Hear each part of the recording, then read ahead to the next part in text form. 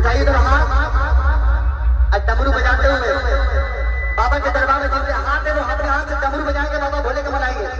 बाबा का दो चीज़ बहुत पसंद है। एक डमरू और एक भंगिया बता तुम हाथ। गुस्सा